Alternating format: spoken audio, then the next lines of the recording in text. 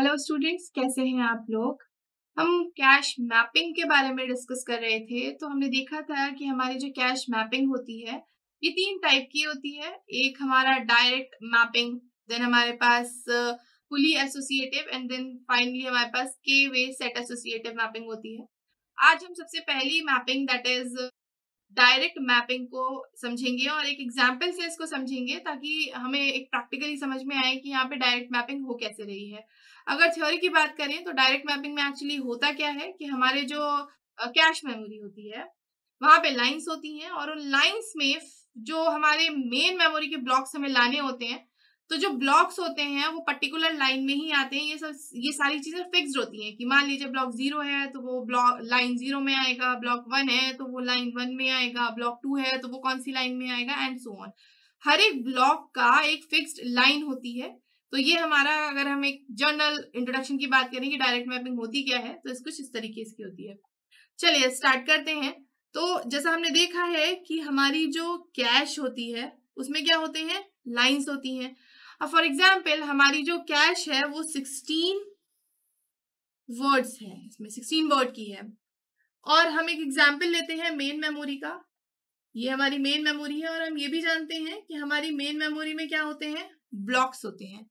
और for example यहाँ पे जो हमारी मेन मेमोरी है, वो है 128 वर्ड्स की। ये इसका साइज़ है। ठीक है? तो दोनों का हमको साइज़ दिया हुआ है। हमें क्या निकालना है? नंबर ऑफ़ लाइंस और नंबर ऑफ़ ब्लॉक्स निकाले हमने एक छोटा सा एग्ज़ाम्पल इसका अपने प्रीवियस लेक्चर में देखा था कि लाइंस और ब्लॉक्स कैसे निकालते हैं। हम यहाँ पे भी इसको देख लेते हैं क्योंकि हमको ज़रूरत पड़ने वाली है यहाँ पे इसकी। जो मेन मेमोरी है, वो फिक्स्ड साइज़ ब्लॉक में होगी। मतलब फिक्स साइज़ ब्लॉक मतलब जो ब्लॉक ज़ीरो है, उसका जो साइज़ होगा, वही ब्लॉक वन का साइज़ होगा, वही ब्लॉक टू का साइज़ होगा और जितने भी ब्लॉक्स होंगे, सबका साइज़ सेम होगा। तो मान लीजिए जो एक पर्टिकुलर ब्लॉक है हमारा मेन मेमोरी का, उसमें चार वर्ड्स आ सकते हैं। तो हमारा जो हमारा ब्लॉक साइज़ है, वो हमको दिया हुआ है ब्लॉक साइज़। ये हमको दिया हुआ है कितना? चार वर्ड्स। मतलब एक ब्लॉक में हम कितने वर्ड्स ला सकते हैं? चार वर्ड्स ला सकते हैं। अब हमें क्या निकालना है? नंबर ऑफ़ ब्लॉक्स निकालने हैं कि हमारे में नंबर ऑफ़ ब्लॉक्स कितने होंगे मेन मेमोरी में। तो number of blocks in main memory, ये कितने हो जाएँगे? हमारा जो भी साइज़ है 128 डिवाइडेड बाई फोर तो जब 128 डिवाइडेड बाई फोर करेंगे तो ये आपके आएँगे 32 तो मतलब हमारे जो ब्लॉक्स हैं मेन मेमोरी में, वो कितने होने वाले हैं? 32 ब्लॉक्स होने वाले हैं. ये वर्ड से वर्ड्स कैंसिल हुआ है मतलब यहाँ पे जो वर्ड और वर्ड था, वो कैंसिल हुआ है. मैंने बस आपको ब्लॉक है. तो हमारे पास कौन कौन से ब्लॉक होंगे? थर्टी टू ब्लॉक्स होंगे. अब थर्टी टू ब्लॉक्स हैं ब्लॉक ज़ीरो से स्टार्ट करेंगे तो कहाँ तक जाएगा? थर्टी वन तक जाएगा. तो ये मेरा ब्लॉक ज़ीरो है. यहाँ पे हम ब्लॉक वन ले लेते हैं। ये ब्लॉक टू होगा ब्लॉक थ्री होगा ब्लॉक फोर होगा और इस तरीके से ये कहाँ तक जाएँगे? ये जाएँगे ब्लॉक थर्टी वन तक बिकॉज़ हमारे पास जो टोटल नंबर ऑफ़ ब्लॉक्स हम भी हमने जस्ट निकाले फॉर्मूले से, वो हमारे थर्टी टू निकल के आए हैं। चलिए, ये तो हो गई हमारी मेन मेमोरी की बात। अब बात करते हैं कि हमारी जो कैश है, इसमें कितनी नंबर ऑफ़ लाइंस होंगी? क्योंकि हमने देखा था जो कैश होती है, वो लाइंस में डिवाइडेड होती है। यहाँ पे एक और चीज़ ध्यान रखिए, जो मैंने अपने लास्ट लेक्चर में भी बताई थी कि यहाँ पे जो ब्लॉक साइज़ होता है, वही हमारा कैश के लाइन का साइज़ होता है। मतलब block size is equals to line size line size obviously मतलब कैश में लाइन्स होती है तो लाइन साइज़ चलिए देख लेते हैं कैसे। तो यहाँ पे हमारा जो लाइन साइज़ हो जाएगा, वो हमारा ब्लॉक साइज़ ही होता है। तो इसका मतलब है यहाँ पे भी हमारा फोर वर्ड्स रहेगा। अब हमें टोटल नंबर ऑफ़ लाइंस निकालनी है तो टोटल नंबर ऑफ़ लाइंस मतलब नंबर ऑफ़ लाइंस हमारी यहाँ पे कितनी होने वाली है तो उसका फॉर्मूला हमारा रहेगा आ, हमारा फॉर्मूला है total size of the cache memory मतलब हमारे यहाँ पे कैश साइज़ हम इसको डिवाइड करेंगे लाइन साइज़ से तो हमारा यहाँ पे लाइन साइज़ कितना है लाइन साइज़ हमारा फोर है तो यहाँ हम लिख देते हैं लाइन साइज़ बस वैल्यू पुट कर लीजिए मतलब कि हमारा सिक्सटीन डिवाइडेड बाई फोर तो ये कितना निकल के आया हमारा फोर अब इससे हमें समझ में आया कि हमारी यहाँ पे कितनी लाइंस हैं टोटल फोर लाइन है तो चलिए बना लेते हैं। लाइन ज़ीरो से स्टार्ट करेंगे तो लाइन थ्री तक जाएगा line zero line one line two and line three तो ये हमारे पास कैश में टोटल नंबर ऑफ़ लाइंस हो गई ज़ीरो से लेके थ्री तक। अब एक और चीज़, यहाँ पे आप देख रहे हैं कि टोटल नंबर ऑफ़ ब्लॉक्स 32 है, यहाँ पे लाइन केवल थ्री है, इसका मतलब है कि हम एक साथ सारे ब्लॉक्स को हम कहा नहीं ला सकते? कैश में नहीं ला सकते। कौन सा ब्लॉक कब आएगा? यही चीज़ हमारी क्या कहलाती है? कैश की मैपिंग कहलाती है कि पर्टिकुलर कौन सा ब्लॉक कब कौन सी लाइन में आने वाला है। यही हमारी कैश मैपिंग होती है और यही हमने कैश मैपिंग फ़ंक्शन जब देखे थे तो देखे थे जिसमें हमारा डायरेक्ट मैपिंग में ये कैसे डिसाइड होता है कि कौन सा ब्लॉक कौन सी लाइन में आने वाला है? तो उसके लिए हमारा जो फॉर्मूला होता है, वो होता है के मॉड एन ये जो फॉर्मूला है, ये हमारा कैश लाइन नंबर निकालने के लिए है। कैश लाइन नंबर मतलब कौन सा ब्लॉक कौन सी लाइन में आएगा? लाइन नंबर निकालना है फॉर्मूला है के मॉड एन याद रखिएगा। अब यहाँ पे ये जो के है और ये जो एन है, वो क्या है? तो जो के है, वो हमारा कहलाता है, मैं यहाँ लिख देती हूँ, जो के है, वो कहलाता है मेन मेमोरी का ब्लॉक नंबर तो ये है मेरा मेन मेमोरी ब्लॉक नंबर अब बात आती है ये एन क्या है? तो ये एन होते हैं, ये होती है हमारी number of lines in cache जो हमने अभी निकाली कि चार लाइन है। तो ये हो गई number of lines in cache तो इस फॉर्मूले से हमको ये पता चलेगा कि अभी हमें फ़िलहाल कौन सा ब्लॉक हमारे कौन से लाइन में आने वाला है, क्योंकि सारे ब्लॉक्स इकट्ठे एक साथ नहीं आ सकते हमारे कैश में। अब कौन सा ब्लॉक कौन सी लाइन में आएगा, चलिए ये देख लेते हैं। मैं कुछ एग्ज़ाम्पल लेती हूँ। फॉर एग्ज़ाम्पल हम बात करने वाले हैं सबसे पहले ब्लॉक ज़ीरो की। हम देखेंगे कि जो ब्लॉक ज़ीरो है, ये कौन सी लाइन में आएगा? तो इसके लिए फॉर्मूला क्या है? के मॉड एन तो यहाँ पे जो हमारा मेन मेमोरी का ब्लॉक नंबर है, हम इसकी बात कर रहे हैं ज़ीरो ब्लॉक की तो हमने यहाँ पे ज़ीरो लिखा। हम यहाँ लिखेंगे मॉड अब हम एन की बात करेंगे तो हमारी जो टोटल नंबर ऑफ़ लाइंस हैं, वो कितनी है? फोर है। तो जब ज़ीरो मॉड फोर करेंगे ज़ीरो मॉड फोर का मतलब होता है रिमाइंडर फाइंड आउट करना, और इसका जो रिमाइंडर निकलेगा, वो ऑब्वियसली निकलने वाला है ज़ीरो तो इसका मतलब है कि जो ब्लॉक ज़ीरो है, वो मेरा कहा जाने वाला है? वो जाने वाला है हमारा लाइन ज़ीरो में। तो यहाँ पे हमने लिखा ब्लॉक ज़ीरो हमने एक का फिक्स कर दिया। अब यहाँ पे हमने जब देखा था कि जो हमारी डायरेक्ट मैपिंग होती है, ध्यान से सुनिएगा, वहाँ पे जो ब्लॉक नंबर होता है, उसकी एक फिक्स लाइन होती है। जैसे कि ब्लॉक ज़ीरो हमेशा लाइन ज़ीरो पे ही आएगा। खाली भी होगा ना अगर कोई ब्लॉक ये सॉरी कोई लाइन तो भी वो किसी और लाइन में नहीं जाएगा। उसका फिक्स्ड है कि वो हमेशा कहाँ पे आएगा? लाइन ज़ीरो में ही आएगा। एक दो एग्ज़ाम्पल और देख लेते हैं इसके। जैसे मान लीजिए मैंने बोला ब्लॉक वन कौन सी लाइन में आएगा? तो फॉर्मूला लगाते हैं के मॉड एन यहाँ पे हम देखेंगे कि हमारा वन की बात कर रहे हैं मॉड एन फटाफट से देख लेते हैं तो ये हमारा आएगा वन में। तो चलिए, जल्दी से हम यहाँ पे लिख देते हैं बी वन इसी तरह हम बात करते हैं ब्लॉक टू की, कौन सी लाइन में आएगा? फॉर्मूला है के मॉड एन और यहाँ पे हमने लिखा टू मॉड फोर रिमाइंडर आएगा टू तो ब्लॉक को हमने यहाँ पे प्लेस कर दिया और यहाँ पे हमने लिखा ब्लॉक थ्री के लिए और यहाँ पे हमने फॉर्मूला लिखा के मॉड एन ये हुआ थ्री के लिए थ्री मॉड फोर और यहाँ पे जो हमारा रिमाइंडर आया, वो आया थ्री तो हमारा ब्लॉक थ्री यहाँ पे चला गया। लास्ट एक देख लेते हैं। तो जो लास्ट है, हम यहाँ पे इसको कर ले? यहाँ कर लेते हैं, एक काम करते हैं। ब्लॉक फोर तो ब्लॉक फोर के मॉड फोर सॉरी एन तो फोर मॉड फोर और यहाँ पे ये जाएगा रिमाइंडर ज़ीरो मतलब अब देखिएगा, यहाँ पे कैसा हो रहा है, हम यहीं रुक जाते हैं अब मैं आपको यहाँ पे बताती हूँ। ब्लॉक ज़ीरो हमेशा लाइन ज़ीरो ब्लॉक वन हमेशा लाइन वन ब्लॉक टू हमेशा लाइन टू एंड सिमिलरली इस तरीके से। तो यहाँ पे हमारा आएगा ब्लॉक फोर ब्लॉक फाइव इस फॉर्मूले से निकाल लीजिएगा। ब्लॉक सिक्स ब्लॉक सेवन और इसको थोड़ा सा एक्सटेंड कर देते हैं ताकि विजिबिलिटी रहे।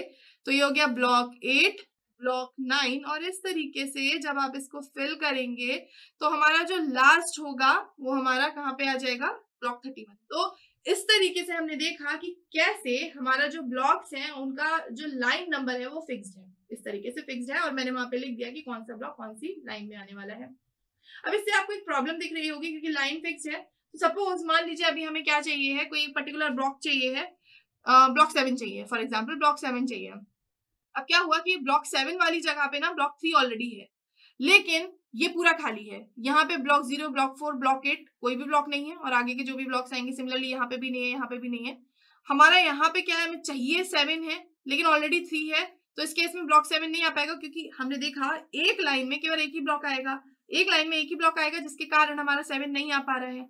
लेकिन ऊपर के सारे ब्लॉक्स हमारे क्या है? खाली हैं। तो इस केस में ये थोड़ी सी प्रॉब्लम आ जाती है अगर हम डायरेक्ट मैपिंग की बात करते हैं। बट फ़िलहाल चलिए आगे बढ़ते हैं।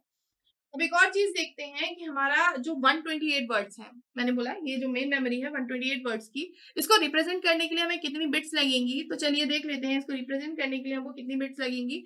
तो ये हमारी हो जाएगी टू टू की power N is equals to one twenty eight. मतलब टू टू की power seven is equals to one twenty eight होता है। तो हमारी जो नंबर ऑफ़ बिट्स हमको लगने वाली है वन को रिप्रेजेंट करने के लिए, वो सेवन बिट्स लगने वाली है। ध्यान रखिएगा, ये सारी चीज़ें हमको ज़रूरत पड़ने वाली है। ये जो सेवन बिट है, इसका क्या मतलब हुआ? कि हमारा जो फ़िज़िकल एड्रेस होगा चलिए यहाँ कर लेते हैं। ये जो फ़िज़िकल एड्रेस है फ़िज़िकल एड्रेस ये हमारा कितने बिट्स का होने वाला है? सेवन बिट्स का होने वाला है।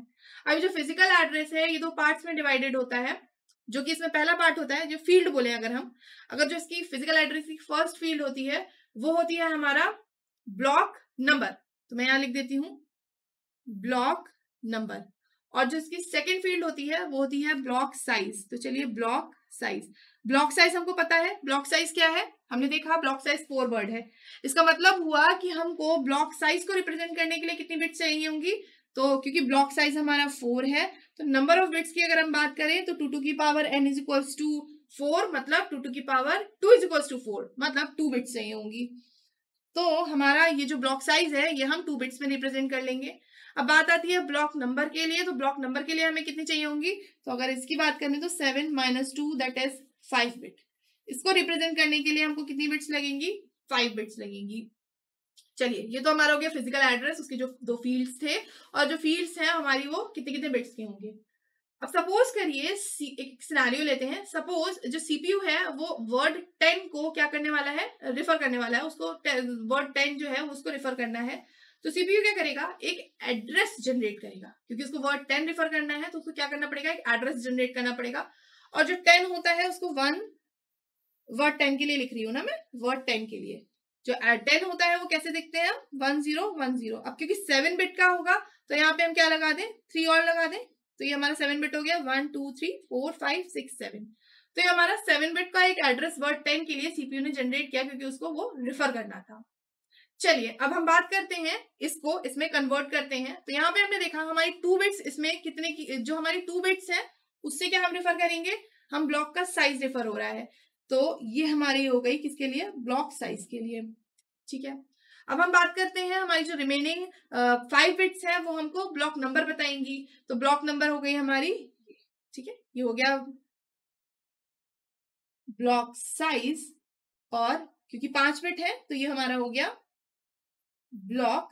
तो चलिए इसको अगर हम देखें तो ये बनेगा टू और ये भी हमारा आ जाएगा टू इसका क्या मतलब हुआ कि ब्लॉक नंबर टू में हमारा क्या है? वर्ड टू है। ब्लॉक नंबर टू में हमारा वर्ड टू प्लेस है। कैसे? हम इसको यहाँ से अगर देखें तो हम बात कर रहे हैं यहाँ पे कैश मेमोरी की। ब्लॉक टू में हमारा क्या है? वर्ड सॉरी मेन मेमोरी की ब्लॉक्स की बात करें ना तो ज़ीरो ब्लॉक वन और ब्लॉक टू ले लेते हैं। अब यहाँ पे हम क्या बात कर रहे हैं? हमारे जो ब्लॉक्स हैं, उसमें क्या है हमारा?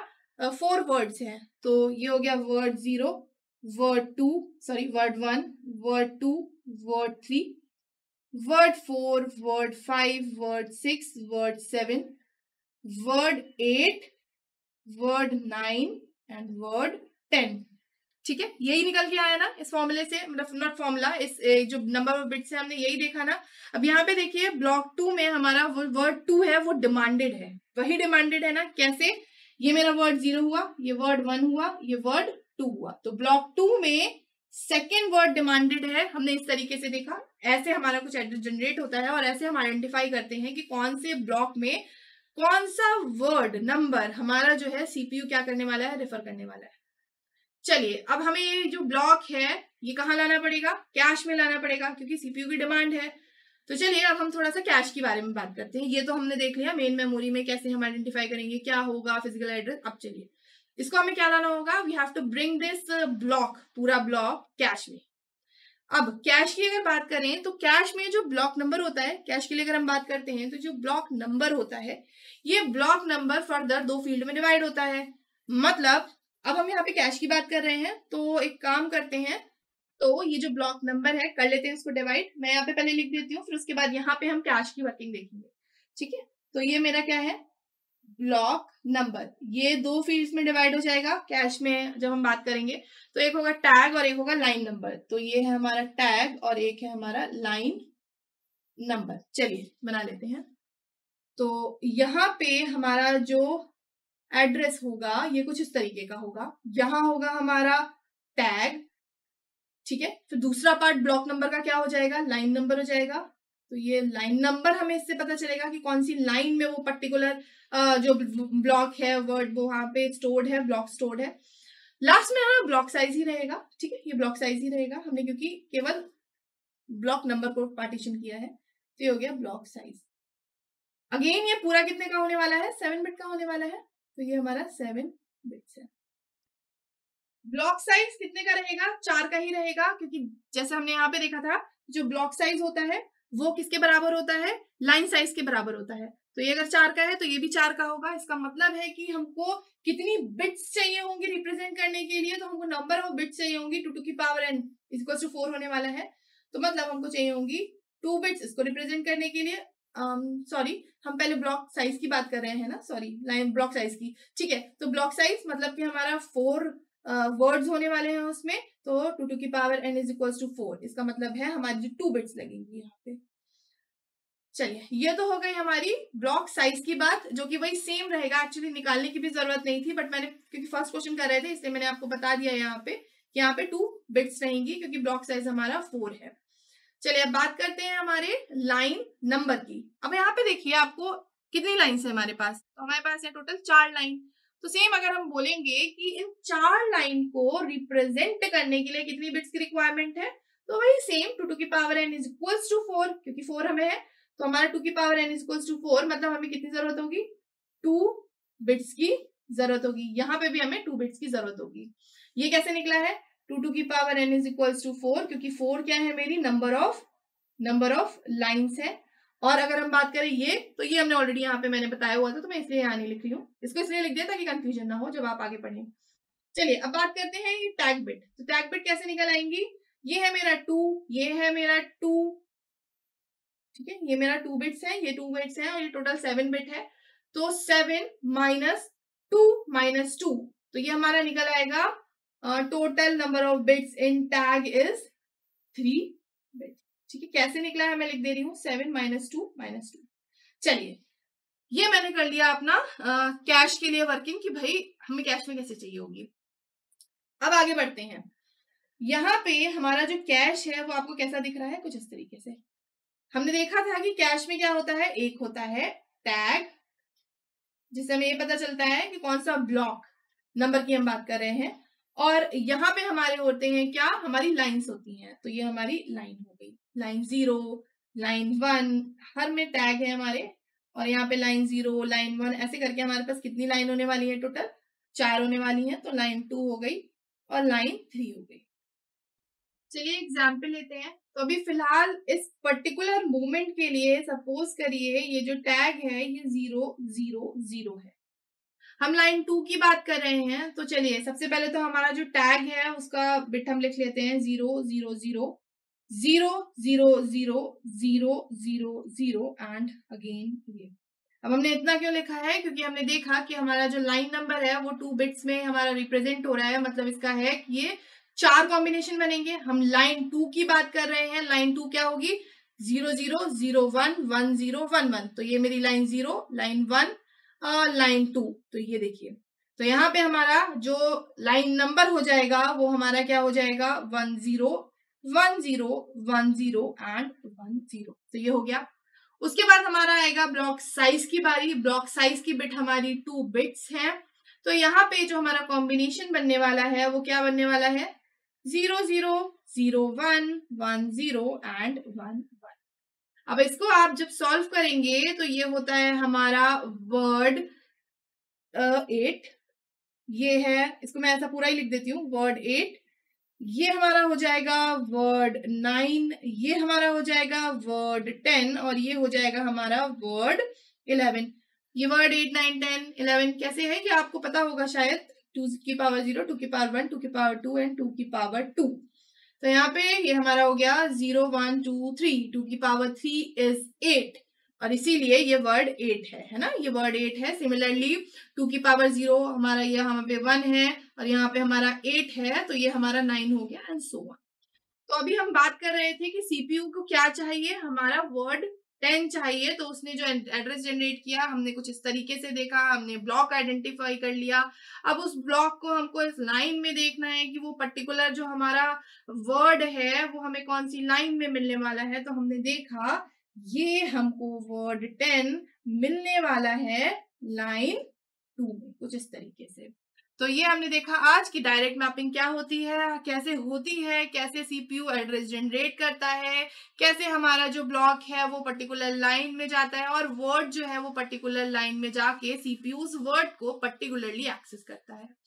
अब कुछ हम देखें कि इसमें क्या डिसएडवांटेज है, क्या लिमिटेशन है तो जैसा हमने डिस्कस किया था कि लाइन खाली होने के बाद भी हम पर्टिकुलर ब्लॉक को किसी और ब्लॉक में नहीं डाल सकते। हर ब्लॉक का क्या है? एक लाइन नंबर फिक्स है। तो उस केस में जैसे हमने यहाँ पे देखा था कि ब्लॉक सेवन को आना है। सारे ब्लॉक्स खाली हैं, लेकिन ये जो लाइन सारी लाइंस खाली हैं, लेकिन ये अगर ये जो ये पर्टिकुलर लाइन है, इसमें बी थ्री ऑलरेडी है। तो ये सेवन ना नहीं आ सकता। क्योंकि वो बाकी किसी ब्लॉक में नहीं बा, बाकी किसी लाइन में नहीं आएगा वो उस पर्टिकुलर लाइन में ही जाएगा। तो ये थोड़ा सा इसमें ड्रॉबैक है या इसका डिसएडवांटेज कह लीजिए। अब बात करते हैं यहाँ पे रिप्लेसमेंट एल्गोरिदम की ज़रूरत पड़ती है क्या? तो नहीं यहाँ रिप्लेसमेंट एल्गोरिदम की ज़रूरत नहीं पड़ती। रीजन क्या है? वही रीजन है कि भाई हर किसी ब्लॉक का लाइन नंबर फिक्स है जैसा कि आप देख रहे हैं हमने कैसे निकाला था हमने इस तरीके से निकाला था। तो हर ब्लॉक का लाइन नंबर क्योंकि फिक्स है, इसीलिए यहाँ पे रिप्लेसमेंट एल्गोरिदम की ज़रूरत नहीं पड़ती है। जो भी हमारा न्यू ब्लॉक अगर डिमांडेड होता है तो वो उसी पर्टिकुलर जगह पे रिप्लेस कर दिया जाता है, जहाँ पे उसका फिक्स हमारी लाइन है। तो ये है हमारा first mapping technique that is direct mapping technique जिसको हम एग्ज़ाम्पल से भी समझा। नेक्स्ट लेक्चर में हम फुल्ली एसोसिएटिव मैपिंग को समझेंगे एग्ज़ाम्पल के साथ ही और हम देखेंगे कि कैसे फुल्ली एसोसिएटिव मैपिंग ने डायरेक्ट मैपिंग की जो प्रॉब्लम थी उसको सॉल्व